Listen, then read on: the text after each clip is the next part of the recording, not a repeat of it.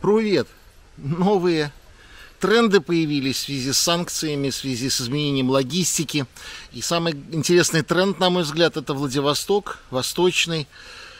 Э, весь Китай, в общем-то, устремился туда, да что там Китай, даже Индия, Пакистан, э, многие страны э, отправляют грузы во Владивосток восточную для того, чтобы дальше по железке отправляли в Москву, в Екатеринбург и в Питер. И вот этот огромный спрос привел к тому, что цены начали расти очень прилично. То есть начиналось там с 500 долларов за сороковку из Китая до Владивостока. И, э, ну, наверное, на пике это было десятка, 11 тысяч долларов за сороковку. Но с, с проблема заключалась в том, что порожняка было мало. Пришло очень много э, морских линий, которые, в общем-то, ну, не совсем приспособлены к перевозке контейнеров, у которых маленький контейнерный парк, соответственно, э, все устремились туда, но не у всех оказалось достаточное количество порожняка. И тогда китайцы придумали хорошую штуку, которая на самом деле мне очень сильно понравилась они начали использовать так называемый one-way контейнер, ну или контейнер, который они покупают у производителя, то есть заказывают новый контейнер, э, грузят в него российские товары и везут до России, и там его продают, пытаются продать.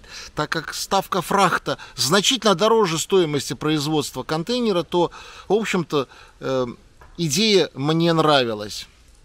И сейчас очень большое количество предложений, кон- новых контейнеров китайского производства. Вот, например, как у вас перед глазами продают по цене ну, э, двадцатка за 3 тысячи, сороковка за 3 900. Это вот конкретно это предложение. Но можно найти и дешевле. Причем контейнер уже таможенно очищенный. Он пришел вместе с грузом, как оборотная тара. И склад этих контейнеров находится в Питере, в Москве, либо Екатеринбурге. Но э, тут тренд немножечко поменялся, и теперь э, контейнеров стало слишком много, их очень сложно продать в Питере, в Екатеринбурге и в Москве, потому что столько контейнеров в России просто не нужны. Соответственно, цена на контейнер, который предлагается после перевозки, начинает падать. И для того, чтобы компенсировать убытки, соответственно, что? Начинает расти сама перевозка. Поэтому мы, наверное, дно по перевозке видели, наверное, вот в августе, в июле, в августе это было около трех тысяч за сороковку из Китая до э, Владивостока. А сейчас начинает расти, наконец, сентября уже ставка 4, 400, 4 500. При этом э, стоимость продажи э, контейнера, который прошел только всего один путь, нового контейнера в в России начинает падать, и я думаю, что уже в конце сентября мы увидим цены за новый контейнер на уровне 2-3 тысячи долларов. Вот такая вот интересная ситуация, интересная новость. Берегите себя.